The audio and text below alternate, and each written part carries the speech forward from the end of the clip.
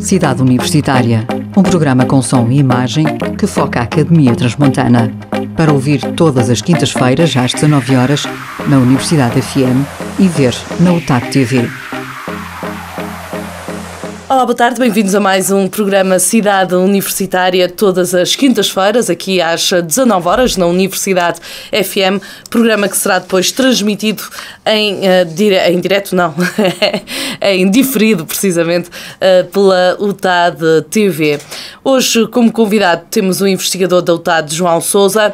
João Souza, que está a desenvolver uma uh, tecnologia que se chama Remote Watch e, no fundo, permite detectar ou pretende detectar detectar precocemente danos em estruturas eh, como pontes e dicas. Antes de mais, professora João Souza, muito obrigado por ter eh, então acedido ao convite da Universidade FM e estamos aqui para falar um bocadinho mais profundamente eh, sobre, sobre este tema e sobre este seu projeto.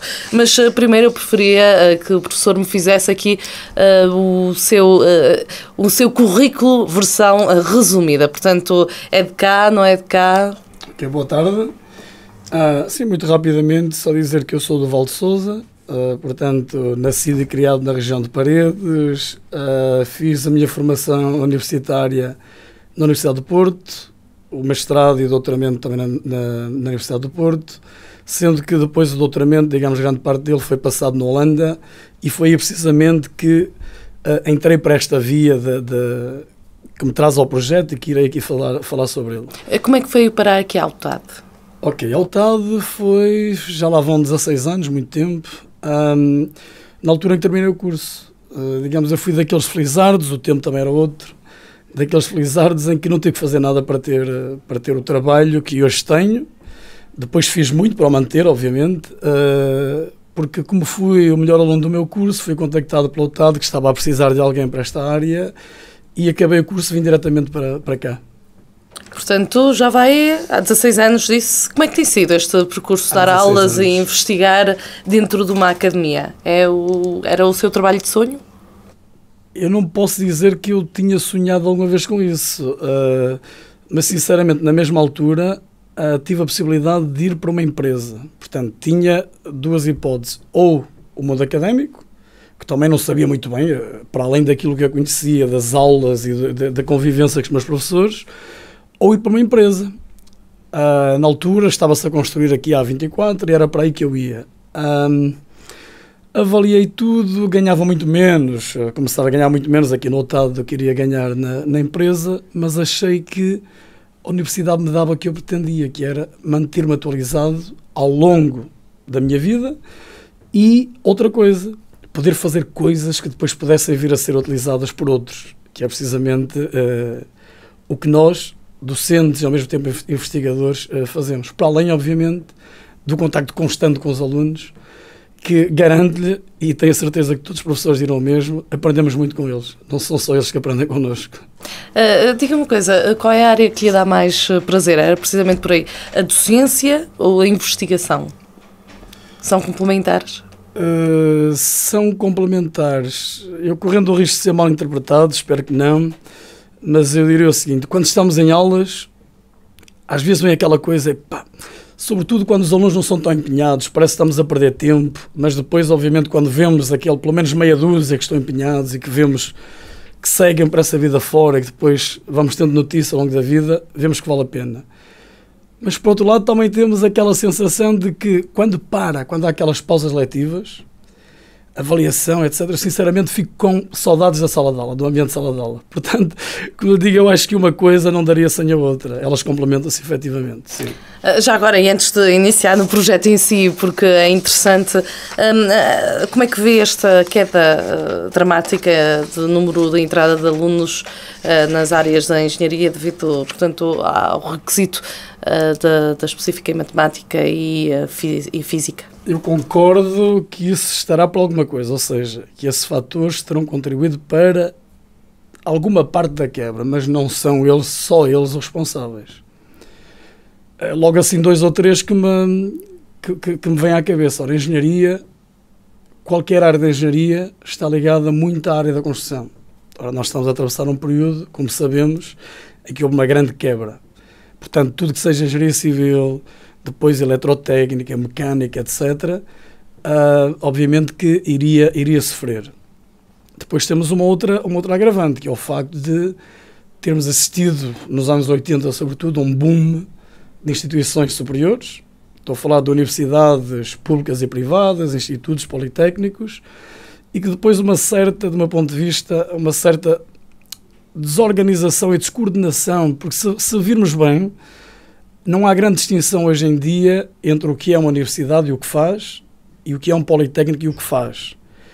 Quando, do meu ponto de vista, os papéis estavam mais ou menos bem definidos e deveriam estar à partida.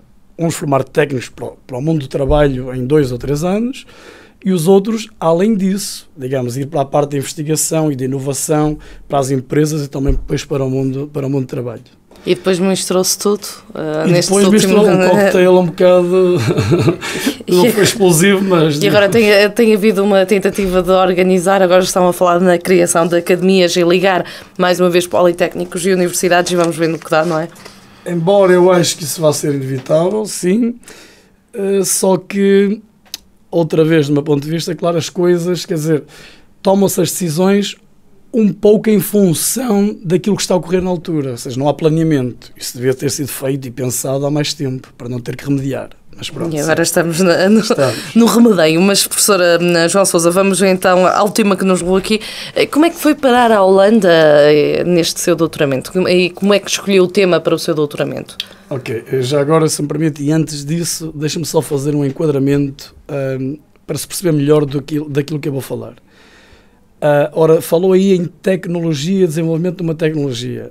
Uh, atenção que a tecnologia, obviamente, que já foi desenvolvida. Ou seja, eu não vou desenvolver nada que não existe, ou seja, que eu já não domine.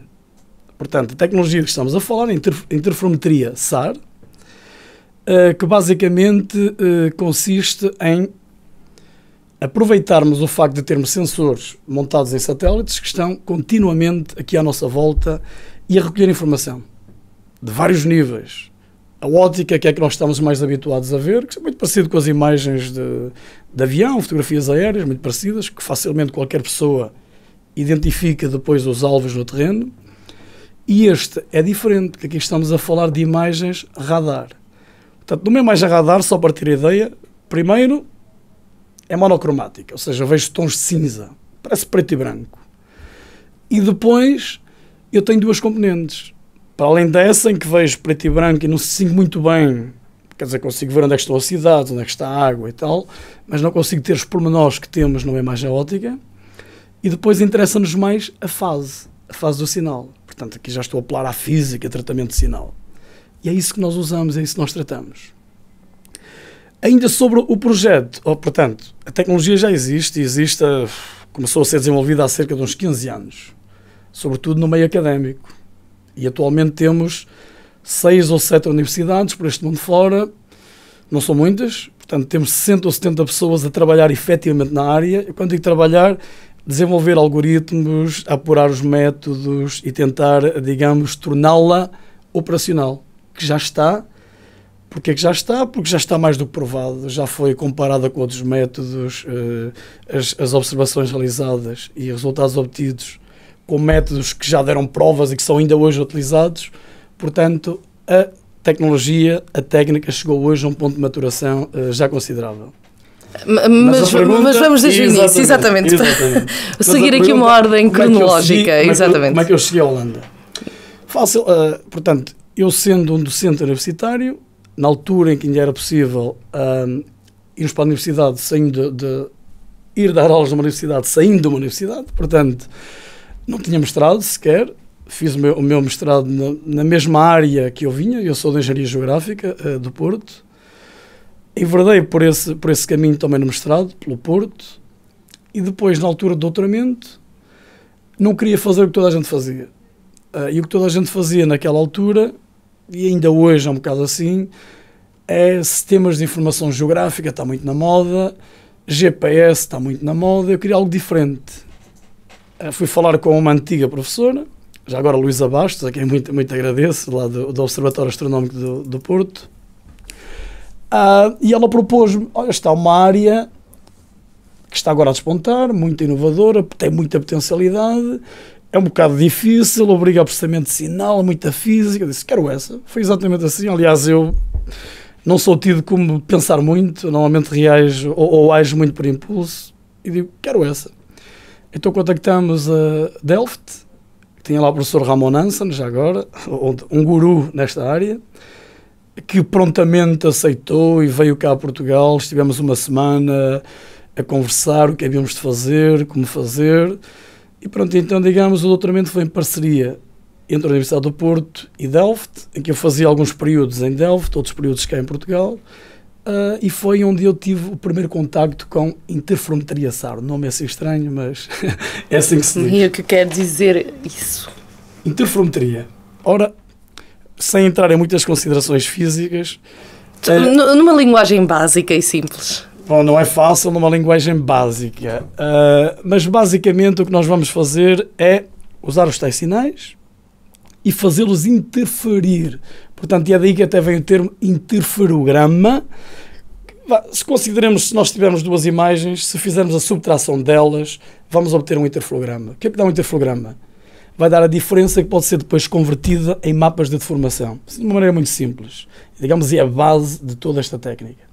Mas, sinceramente, se eu tivesse aqui algo que pudesse explicar. Mas, já deu uh, para perceber uh, okay. mais ou menos a, a, ideia deste. E depois, portanto, depois de fazer este doutoramento, chegou-se a uma ligação a uma empresa e está-se agora a passar não para a prática. logo assim, o Mas já como é que foi cinco então? anos ou qualquer coisa. como é que foi?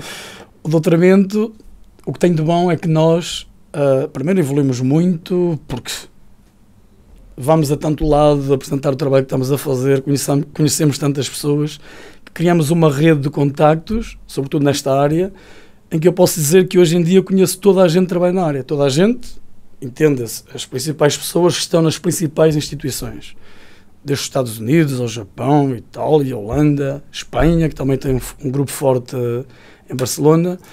E fomos criando, ou fui entrando em projetos comuns. Por exemplo, eu estou num projeto na Indonésia, que me levou à Indonésia há três anos, recomendo já agora, um belo sítio para, para citar.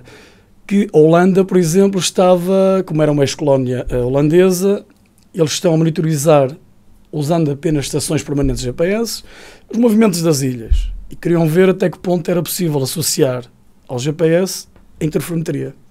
Pronto, então fomos lá para ver a, vi a viabilidade da aplicação e já estamos a fazer trabalho uh, nessa área. Mas só para dizer que antes de chegar à Norvia, eu próprio já desenvolvi vários trabalhos na Holanda, em Espanha, em Portugal, uh, que foram depois esses trabalhos que foram capazes de convencer a Norvia, porque nós reunimos, mostrei-lhes o que pretendia, eles imediatamente se prontificaram uh, a avançar com o projeto e, obviamente, o que pensamos foi vamos então arranjar aqui algo que se enquadre para fazer uma proposta de financiamento. Já agora gostava só de dizer que mesmo sem financiamento, a empresa estaria disponível para avançar de qualquer maneira. Um dos projetos, uh, creio que se fala um bocado no, na, na, ponte Índice Ribeiro, em que seria uh, o que foi possível ver, ou era possível ver, uh, o movimento, a movimentação de pontantes de era, cair. mas aí, pronto, eu também gostava de fazer um pequeno reparo que era aquilo que eu consegui aplicando esta técnica à ponte, efetivamente uh, verificava-se movimentos que vinham pelo menos dos últimos 10 anos, anteriores a, a, ao evento, uh, isso tudo gera conhecimento público. Ou seja, a ponte não caiu por não ter sido monitorizada, por não ter havido aviso ou relatórios, está bem? Uh, nem sequer, já agora porque a pergunta que adviria daí era se esta técnica fosse aplicada se a ponte não caía, que isso é... é... é caía igual, era preciso era haver manutenção, talvez. Pronto, uh, mas nem sequer era Depois possível nessa altura, haver... em 2001, ter aplicado a técnica, Reação. porque ela estava a nascer. A técnica estava a nascer, Pronto, só para que fique claro. E obviamente é isso pois. que me diz. Eu podia dizer está a passar-se alguma coisa, mas se não, se não fosse se não feito nada, ela caía na ela mesma. Caía na mesma, caía na precisamente. Mesma. Portanto, mas eu eh, já agora tenho uma, publica, uma publicação é, com esses resultados, mas com a publicação, eu não, nem na publicação, nem aqui estou interessado sequer em discutir as causas, nem nada. Só foi um facto. Eu consegui com a técnica ver que a ponte mexia, só.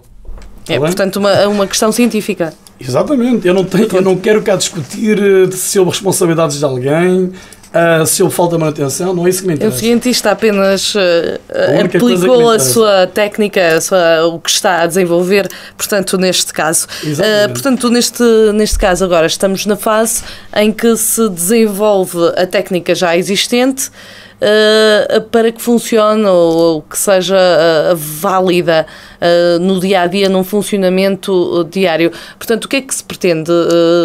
qual é o âmbito deste projeto okay. que, é, portanto, que é realizado em parceria com a empresa Norvia e com o UTAD e também com o apoio dos fundos comunitários? Okay, já agora nós somos duas equipas, uma equipa da UTAD constituída por cinco pessoas e uma equipa da Norvia constituída por igual número de pessoas.